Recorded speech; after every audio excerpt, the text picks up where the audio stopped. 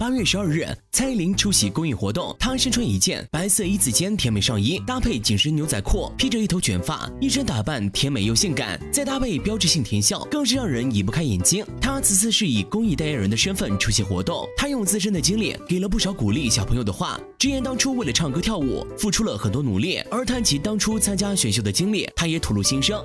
当初去参加音乐热音社。其实那那个就是真的是自己的兴趣，因为上台就是呼隆呼隆，就是不知道也也不觉也不知道为什么自己很喜欢唱歌，但当它变成工作的时候，就会渐渐忘了那个兴趣是什么。所以我现在自己除了工作表演的东西之外，我我会去呃探索一些什么东西可以。让我维持每天做，然后我每一次做它的时候，我我都会觉得好像还有新鲜的东西可以再探索。